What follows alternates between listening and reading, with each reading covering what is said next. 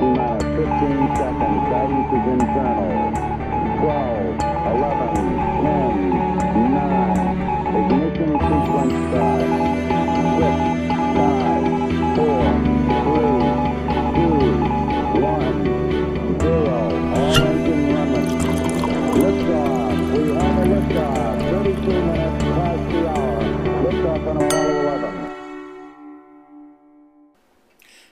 Welcome to Elite Wine TV. I am your host, Mark Fusco, here for another episode of the show. And as you can see, it's a special episode. Um, so I've had uh, some people request that I do uh, some Israeli wine uh, and kosher wine. So what I've done is to kind of it's it's not necessarily a, a thing where you have to do it with Hanukkah, but this is we were like right in the middle of Hanukkah. This is the 14th, by the way, even though the show will be on the 16th. So we're like right in the middle of Hanukkah, literally. Um, I thought it'd be kind of just a nice tie-in to uh, to do Israeli wine uh, at this point. So I bought three Israeli wines. I got them all from WineLibrary.com, and um, they range anywhere from ten to twenty dollars. So uh, we're going to go ahead and start with that. Uh, let me get my notes ready because I have notes about most of the wines. Well, actually, all three of the wines have some kind of notes. So let's pull up this one. First off, this is the Barkan Classic uh, 2007 Chardonnay uh, from Israel. Uh, it says Dan Israel, and um, I'm not sure where this is exactly from, but Barkan is uh, it's a 100% Chardonnay, so there's no other varietals in there. With Israeli wine, uh, wine's been produced in Israel for thousands of years. Okay, so they're not they're not new to the to the whole winemaking uh, business, but um, unlike some other areas have been making wine for a very long time, Israel tends to have most of their most of their wines tend to be the varietals that we all pretty much know. So your Chardonnays, your Cabernet Sauvignons, your Syrahs. Um, see what else we have: uh, Merlot, Petit Verdot. That's some of the other varietals. There's also um, Muscat, uh, Muscat de Alexandria. So you've got some other little bit different varietals, but they, they've got a whole bunch of what we normally uh, associate with, with the rest of the world as far as wine. So um, we're going to take take a look at this, and you know I didn't read the back. No oak. Okay, so um, I'm just going to read the back real quick, or most of it. Uh, the vines yield small crops and ripen early. Hand-picked in small containers, of grapes were rushed to the winery to ensure maximum quality. Hope so. Uh, fermentation is cool and unhurried with no oak involved, creating a wine with a vibrant nose of, okay, they say peaches, guavas, and pears. All right, we'll see if that, see if any of those come through on the nose. But uh, so an unoaked Chardonnay from Israel. So I'm definitely smelling fruits. Um, maybe, maybe we're getting those guava like aromas. 998. This is nine. This is 998, by the way.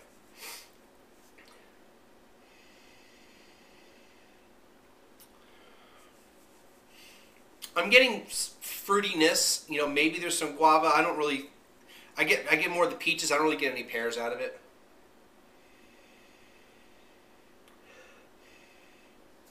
But pleasant nose. Uh, so really nice. Let's check it out.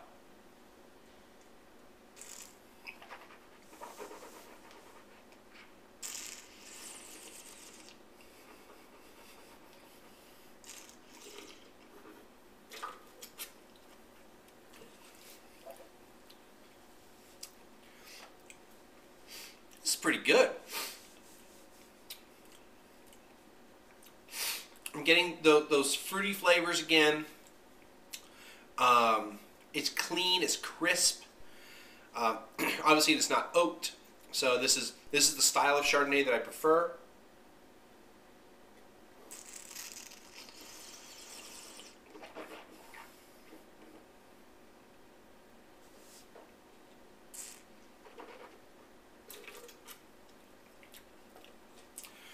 I feel like I could get a little pineapple out of it. Um, the peaches are there. I'm not really. I don't get the guavas or the pears like they say. Least not on the palate. Um, but I get kind of the peachiness, kind of uh, the pineapple. Uh, it's real clean and crisp. Um, and for nine ninety eight, it's pretty darn good. Um, totally. I give this a. Oh heck, I'll give it a ninety. I was gonna give it an eighty nine, but I think I'll give it a ninety. I really like it. I really like the Chardonnay. Very nice. All right, so let's move on to the next one. Um, now this is the Yiron uh, from is from Galil Mountain. It's their Yiron from Galilee. From, so that's the area that in Israel that the uh, the grapes come from. I'll read the front part of the thing. In, in the upper, Gal- upper Galilee, a wild mountainous region of forested slopes, gorgeous stony ridges, and running streams lie the vineyards of the Galil Mountain Winery. The winery is located at Kibbutz Yiron. All right, so this is a 2005, and it is a blend. And thank you very much for putting the exact blend on the back label. Um, 50% Cabernet Sauvignon, 44% Merlot, 4% Syrah, and 2% Petit Verdot. 1998 at Wine Library. So uh, let's see how it is. I can already tell you I like this wine a heck of a lot. This is right up my alley. Which, if you've been watching for the past 101 episodes now, probably can already guess something I smell on it. I'm getting those peppers. Um, green pepper, almost jalapeno like, but I also get, funny enough, and maybe it's just because I had it from the Chardonnay, like this pineapple y thing.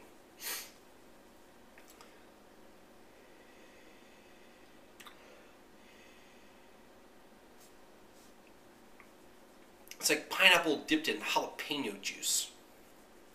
So you get a little bit. Of, so what I'm trying to say is you get a little bit of sweetness from from the spiciness of, of the of the pepper. So, and in my mind, I get that pineapple, you know, soaked in jalapeno juice type of thing. It's not really pineapple, but it's you get a, a bit of a sweetness to it.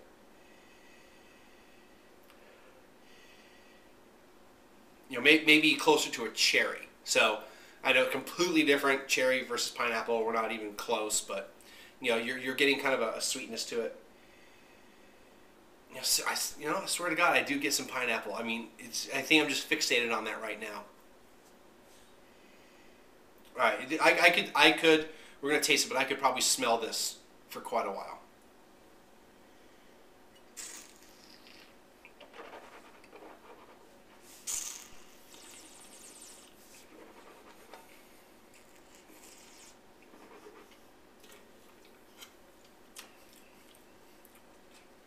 This is good.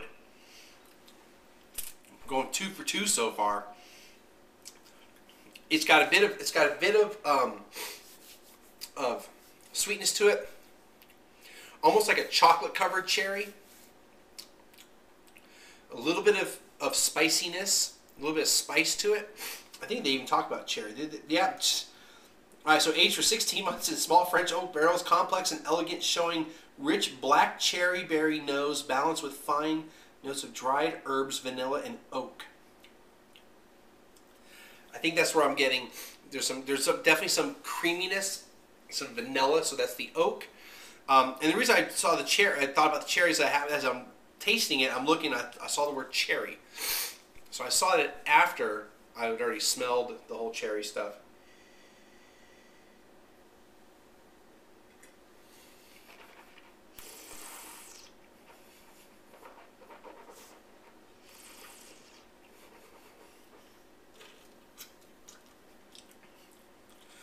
This is one of those occasions where the wine label does describe what I'm tasting and smelling, which I'm pretty I'm pretty uh, surprised by that. But uh, good job with that. Galil Mountain Winery. Uh, you know, I did take some notes about about these about these uh, things. Uh, just going to go back to the Barkan. Uh, this this winery or the, vineyards that, that this is part of was uh, started in 1899 in an area called Founders Park in Petah Tikva.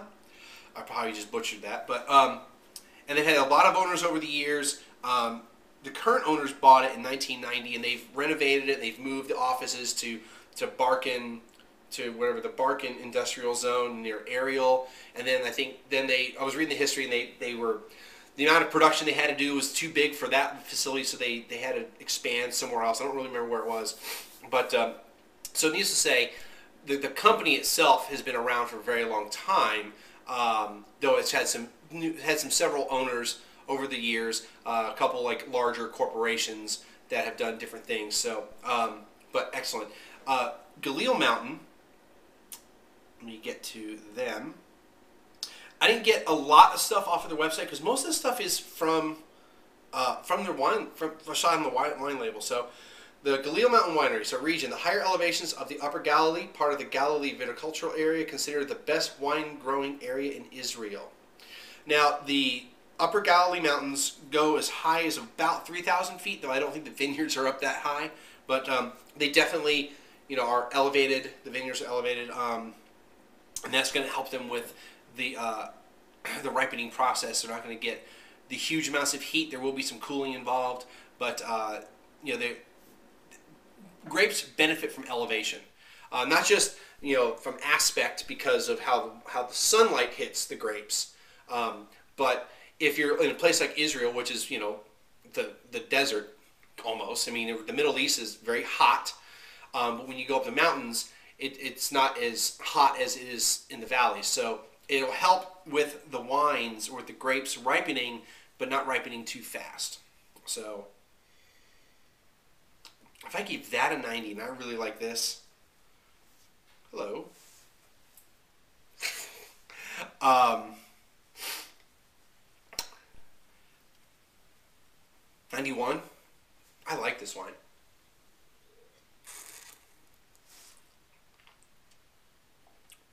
It's got those peppers. Good stuff. All right. So, moving on to our next wine. This is the Ella Valley Vineyards. Um, 2006 Syrah from the Ella Valley Vineyards, also from Israel, uh, Ella, the Ella Valley area. Um, let's see, 5% cap. Oh, yeah, 90%. I was like, what? 90% Syrah, 5% Cabernet Sauvignon, and 5% Merlot from the Ella, Ella Valley in Israel. And what did I have about them? Um, all right, so Ella Valley. Uh, I admit I don't really know my biblical history as well as as others, but this is the place of the famous battle between David and Goliath. So if it sounded familiar, that's why. I heard a little music in the background. I think that was the dryer. It plays this little musical tone when it's done. Um, the brand itself is five years old, or they said after five years, but the dates make me think it's really kind of older than that because they planted their first vineyards in 1998. Um, 2001, they built the winery, and the first wines that they produced were a 2002 vintage. It's 2009, so I'm thinking maybe this is a seven-year-old brand itself, um, because they, from the, what the website said, they they planted the vineyards or they planted the vines, uh, and they created the winery, but they didn't. It wasn't called Ella Valley Vineyards at the time. So let's see how it is product of Israel, Judean hills. Okay, it's a little bit more muted nose.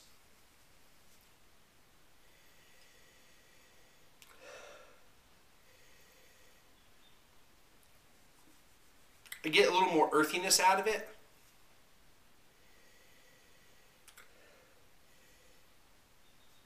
A little spiciness. Like spices spiciness, not pepper spicy. Maybe a hint of cocoa. See how it tastes?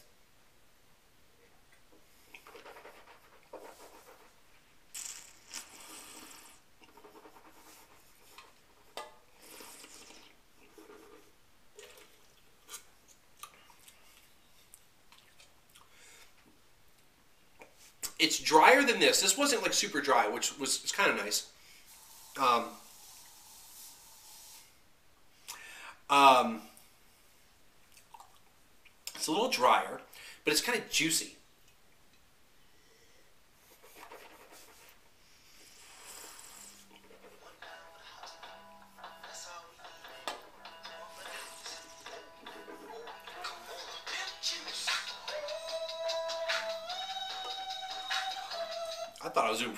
Time. I thought I was going pretty fast.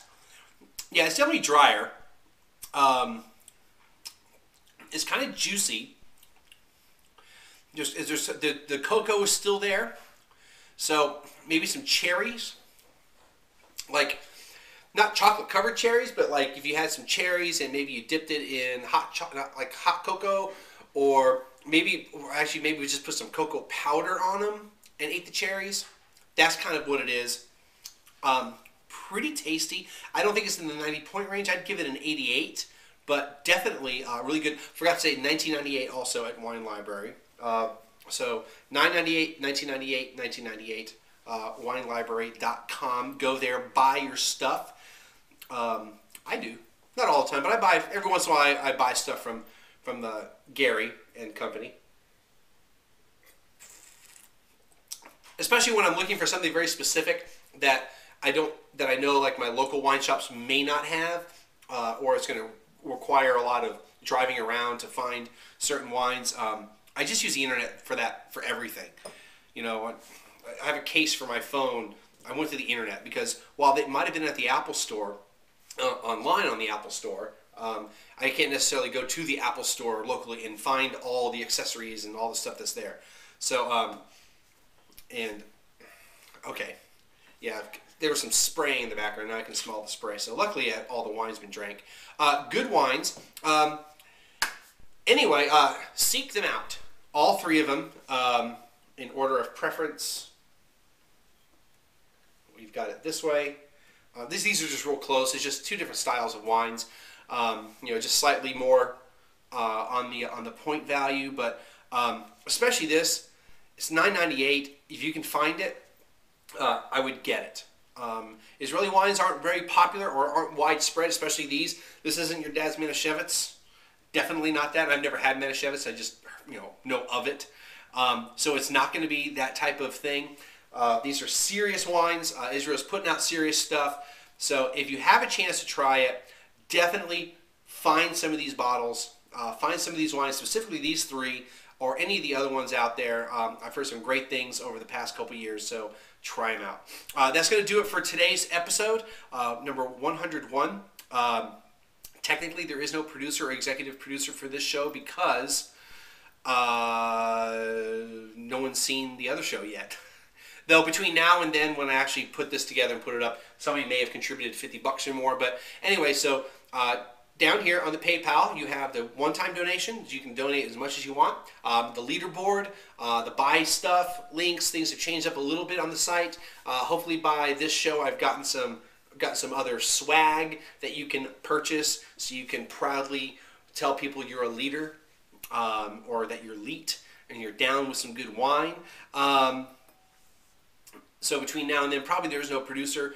Uh, of course, I won't necessarily know who the producers are uh, until I do some of these, I actually edit the videos. Whereas in other cases, I will know because I'll be recording it on that particular day. You know, obviously I'm still recording on the Monday. That's going to do it, and um, click the links. Tell your friends about it. It's all good stuff. And happy Hanukkah. See you later.